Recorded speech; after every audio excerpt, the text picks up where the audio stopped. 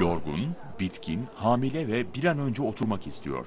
Koltuklarsa kafalarını telefonlarına gömdüğü için durumu fark etmeyen yolcularla dolu.